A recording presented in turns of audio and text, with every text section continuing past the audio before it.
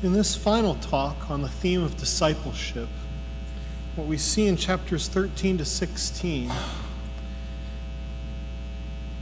is the confrontation that the disciples have with their fears. Fear is a motif that we see throughout these chapters. And the way that they deal with their fears and encounter, when they encounter that which they fear, is not uniformly flattering. But part of why Mark recorded all of this for us is that his audience knew that all of them eventually overcame their fears in order to carry forward the faith that Jesus had given to them. And so, for his audience, who we may recall were Roman Gentile Christians dealing with the situation where many of the Jewish Christians had been expelled from Rome and felt somewhat cast adrift, they were very much experiencing being afraid.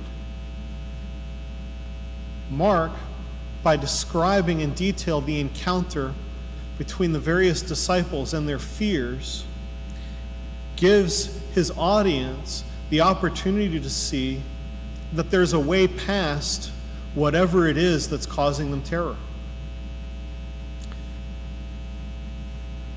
Chapter 13, verse 11, Jesus instructs us to say whatever is given you in that hour, for it is not you who speak, but the Holy Spirit. That is, we should not fear to say the right thing, provided we're being open to the voice of the Spirit. Alas, this was not easy for the disciples to accept as the passion unfolded. Chapter 14, verses um, 27 through 31, Jesus predicts that Peter will deny him three times. Peter uh, claims that he will die rather than deny him, and everyone else says the same thing. Now, when the arrest comes in 14, chapter 14, verse 50, they all deserted him and fled. Not a lot of time elapsed from promising to die with him to run in fear. On one level, it might be easy to make fun of them, but on another level, I think we can all readily identify with them.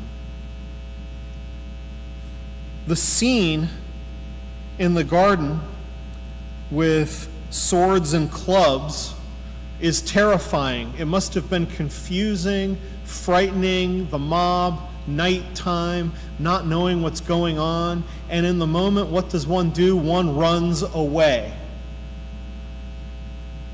What could they have done? Well, they promised they would die with him, they would remain in his company, they would remain with him. In a way, in Gethsemane, he was trying to prepare them for this. Remain with me while I pray. Why? So they could remain with him in his passion. But they deserted him and fled. Peter followed at a distance. One of the maids came and seeing Peter warming himself, she looked at him and said, You also are with the Nazarene Jesus. But he denied it, saying, I neither know nor understand what you mean. Why would he have said that? He was afraid. He didn't want to be arrested. If I look at the interior of my own soul, if I were there, I would have felt the same temptation. Would I have done the same thing? I don't know. I would pray that I would do better than Peter but you never really know till it happens. And the maids saw him and began to, again to say to the bystanders, This man is one of them. But again he denied it. After a little while, again the bystanders said to Peter, Certainly you are one of them, for you are a Galilean. One of the other Gospels will make reference to the fact that they picked it up from his accent.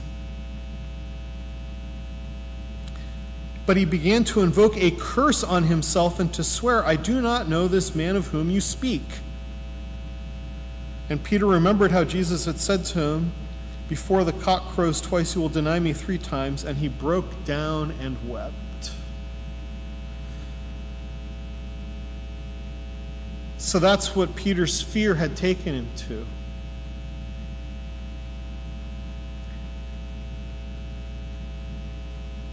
Simon of Cyrene, chapter 15, verse 21. They compelled a passerby, Simon of Cyrene, who was coming in from the country to carry his cross.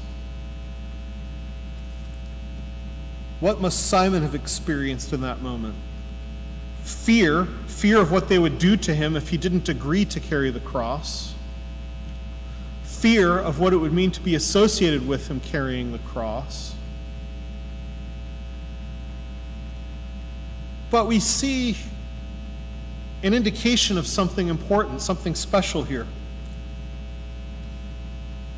He's introduced as the father of Alexander and Rufus. Now, me sitting here in the 21st century, I have no idea who Alexander and Rufus are, and I have no particular reason to care.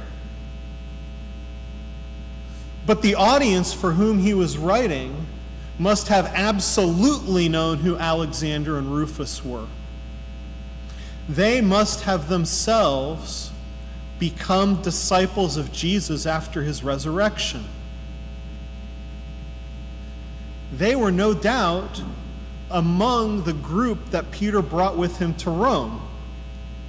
And, equally no doubt, they were probably brought there by their father, who, after literally taking up Jesus' cross and following him, later in turn took up the metaphorical cross and followed him. So that was Simon of Cyrene's passage from fear to faith. What of the women? The women were there looking on from afar, it says. Why from afar? Because they were afraid, quite reasonably.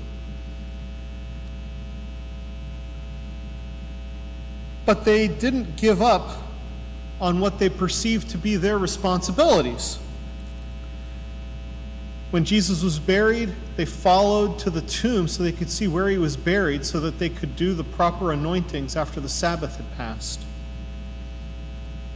And when it was past, they in fact returned. They brought spices so they could go and anoint him.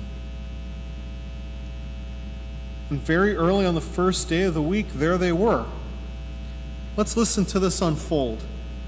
Very early on the first day of the week, they went to the tomb when the sun had risen, and they were saying to one another, Who will roll away the stone for us from the door of the tomb? And looking up, they saw that the stone was rolled back, for it was very large. And entering the tomb, they saw a young man sitting on the right side, dressed in a white robe, and they were amazed. And he said to them, Do not be amazed. You seek Jesus of Nazareth, who was crucified.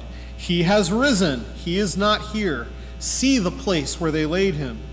But go, tell his disciples and Peter that he is going before you to Galilee. There you will see him, as he told you. And they went out and fled from the tomb, for trembling and astonishment had come upon them. And they said nothing to anyone, for they were afraid.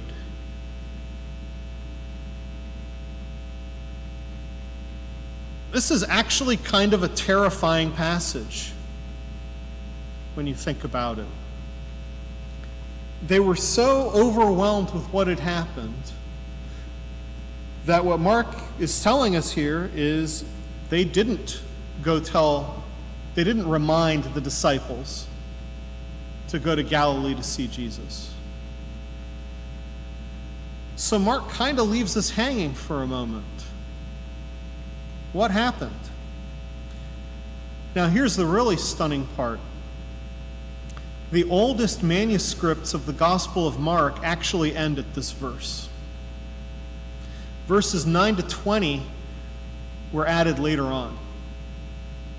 So, this is actually Mark's original intended ending. Verses 9 to 20 are a summary of the appearances of Jesus in the other Gospels. So, the appearance to Mary Magdalene, that comes from John, for instance. The appearance to the two, that's the road to Emmaus from Luke. The ascension scene, that's from Matthew, and so forth. So, Mark kind of weirdly leaves us hanging. But to understand why he leaves us hanging, we have to pay attention to another odd little detail. That's in chapter 14, verses 51 and 52. A little passage that's easy to overlook and forget, but which I'm convinced is one of the most important passages in the entire gospel. This is after the arrest. And a young man followed him with nothing but a linen cloth about his body. And they seized him, but he left the linen cloth and ran away naked.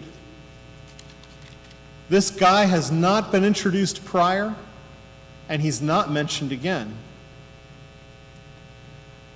It is widely believed by many commentators that this young man is Mark, the author of the gospel, in that scene. And why would he include that scene? He was afraid in that moment, Mark himself was filled with fear.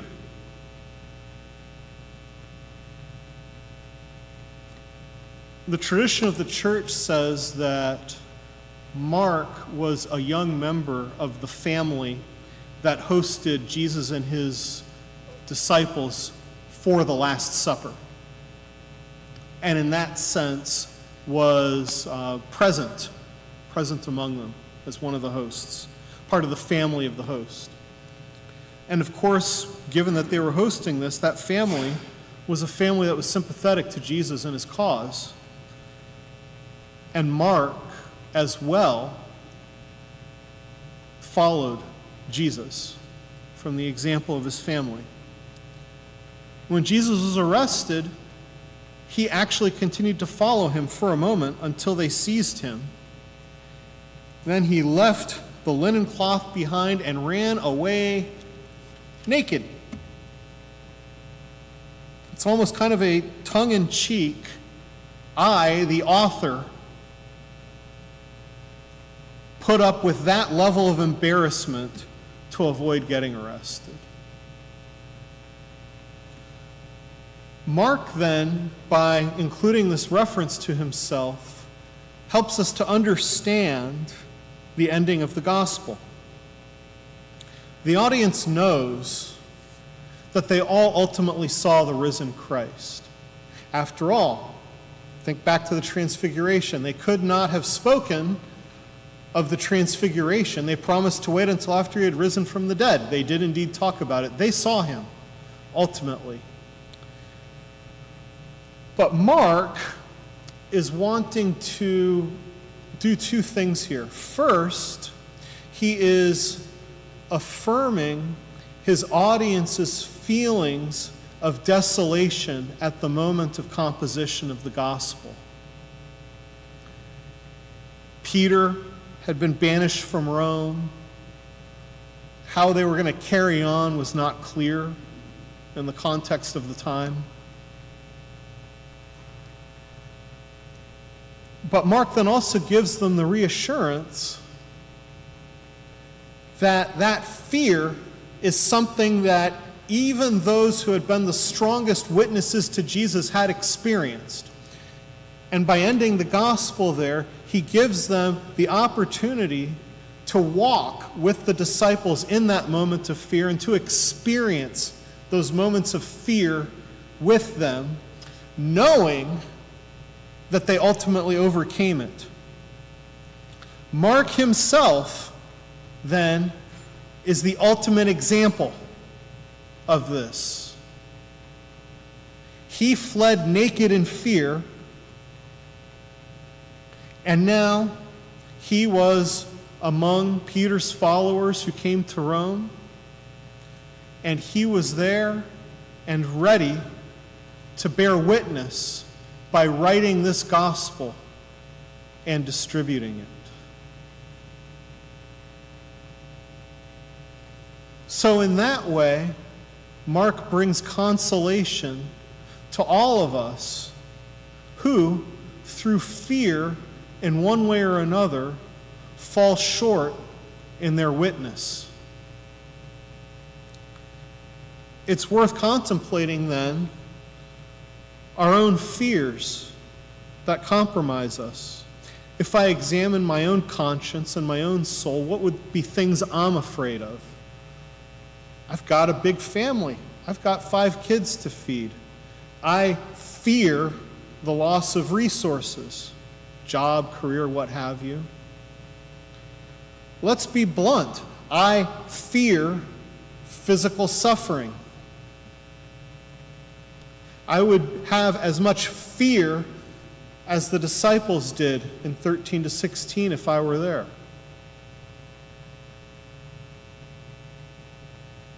So, how do we move from fear to faith? The number one answer is keep your eye on the prize. And the number one way to do that is constant prayer. Why?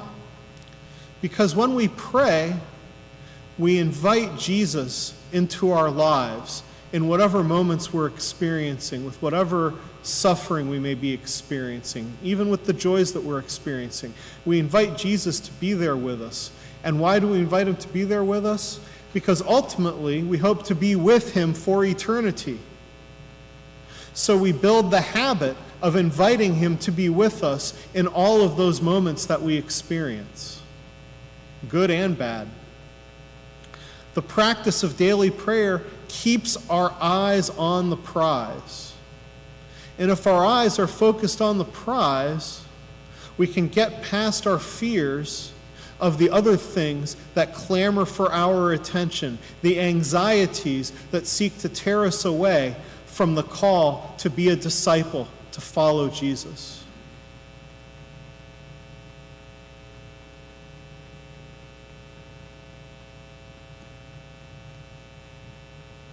Ultimately, the gospel does have a happy ending. And the biggest clue is tell his disciples and Peter that he is going before you to Galilee. Although 16:8 seems ambiguous, we know in the end that they did see the risen Jesus after it all.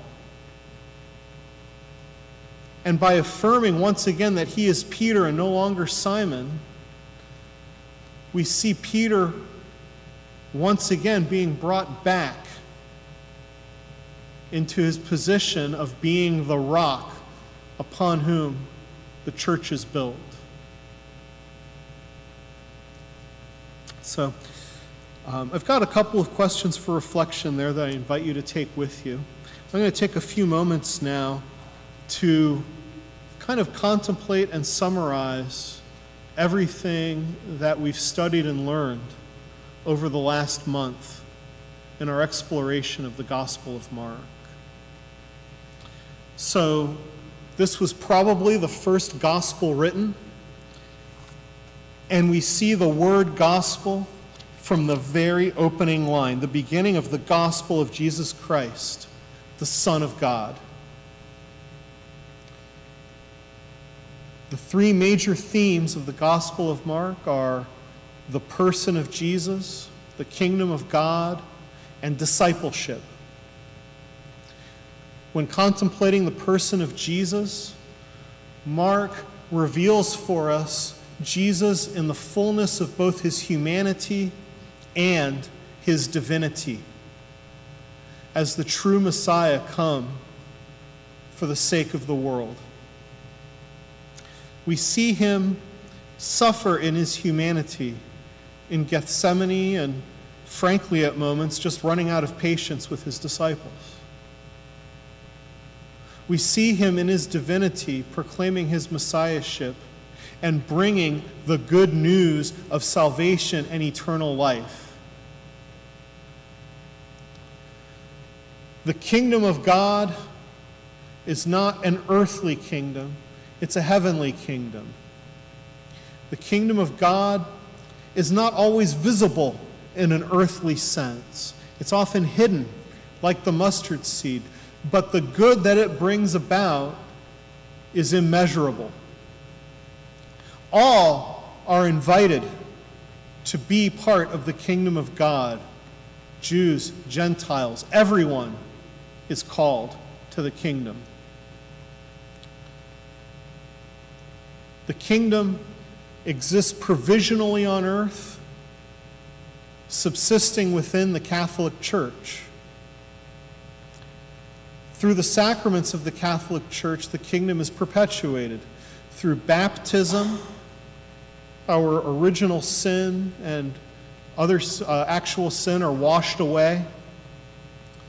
Through the Eucharist, we take part in Jesus' ultimate self offering sacrifice, the Passover sacrifice of Jesus Christ, offered on behalf of all of us, his blood, the new covenant. Through holy orders, apostolic succession, Jesus appoints deputies, delegates to carry forth his ministry of repentance of sin, casting out devils and bringing about healing, anointing of the sick. And ultimately, the kingdom of God will be fully realized in the creation of a new heaven and a new earth at the end of the age when Jesus returns. Mark then outlines discipleship. What does it mean to be a follower of Jesus? He makes clear that it is not an easy path. We need to take up our crosses and follow Him. We need to be careful to leave behind anything that keeps us from following Him. And what are some of those things? It could be wealth, it could be an unwillingness to forgive it could be persistence in sin. We need to amputate whatever sins are holding us back and make use of the blessing of the confessional to assist us to that end. The prize then for discipleship is eternal life, but it comes at a cost. That cost is we have to follow Jesus to his death in order to experience his resurrection. But to that end, we are given immensely powerful spiritual tools in order to achieve this. The devotional tradition of the church, the sorrowful mysteries of the rosary, the divine mercy chaplet, the way of the cross. We're given all we need. Most of all, our study of the Gospel of Mark has been an opportunity for each of us to have a personal encounter with Jesus Christ. Mark wrote his gospel in order to address a specific concrete situation. He may not have envisioned that we would still be reading it 20 centuries later. But God's plans are always greater than ours, and the growing of the mustard seed is not always ours to behold. I hope then that these four sessions have been as much of a blessing for you as they have been for me, as I have learned so much as well from my own study and preparation uh, for these talks. Looking ahead to the future, I am certainly hoping uh, not to stop here. We've, we've got some more Gospels to look at, I would say, in the months and years to come. And I'll look forward to discussing some of those possibilities with you all uh, as well when the time comes. Let's close our sessions in prayer. In the name of the Father, and the Son, and the Holy Spirit. Amen. Lord, thank you so much for the gift of the Gospel of Mark, preserved over 20 centuries, so that we may have the opportunity to grow ever closer to you. We pray that this experience of exploring the Gospel of Mark may bear fruit for all of us here in ways that we may or may not even anticipate, but in ways that ultimately build up the kingdom and invite ever more disciples to follow you faithfully. St. Mark, pray for us. In the name of the Father, and of the Son, and of the Holy Spirit, amen.